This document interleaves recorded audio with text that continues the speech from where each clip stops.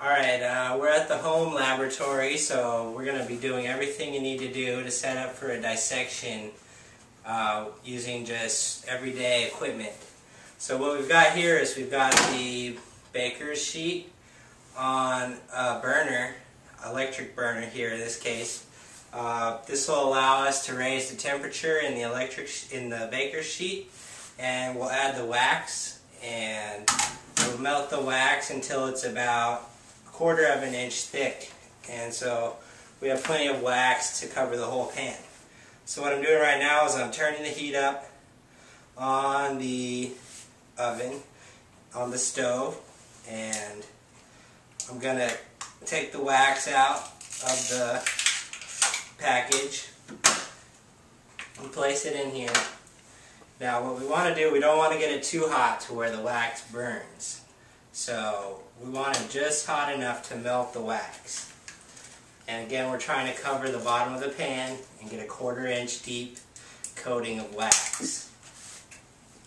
So this will take a little bit of time for it to heat up.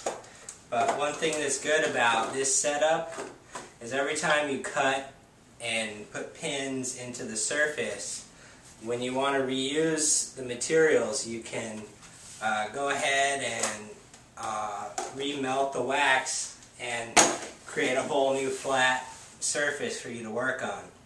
So, um, I think two packages of wax might be enough, but it might end up being three.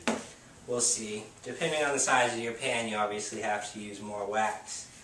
Um, but uh, that's what we've got going on now. And we'll check back in once the wax is melted. So after you've melted the wax, one of the objectives you want to do is to set the pan on a flat surface so that when the wax cools and hardens, it cools and hardens into a flat plane so that you have a nice surface for dissection. So as you can see, this pan is filling up. It's not filling up right in the middle. There seems to be a bulge there. That's normal. But again, this is why we're using wax. The wax creates another surface on top of the original surface It'll be flatter and give us a better, better surface for dissection.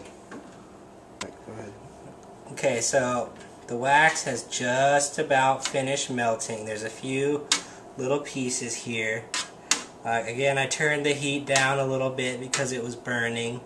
Uh, when you see the smoke coming off wax, it's not like water where that's steam. In this case, it's burning wax. So you don't want to give off any smoke. This, the wax should just melt and become liquid and dissolve uh, pretty much the way that it's all done.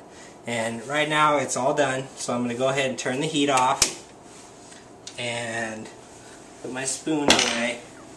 Now I'm going to move the pan full of wax to a flat surface, like this one on the stove. Now we're just going to let the wax congeal and harden, cool basically. Uh, so we'll give that enough time to cool and I'll show you the finished product once it's cooled. Okay, so what we've done is we've melted the wax into the dissecting pan to create a surface on which we're going to dissect. And as you can see, the wax is cooled and it won't come out of the pan. Uh, it's pretty stable. It's clean. Every time you do a dissection, you can remelt the wax and recreate this smooth surface, start over fresh, and it also helps keep the tray clean so over the long term. So uh, that's it for now. We'll uh, get back to you with the dissection.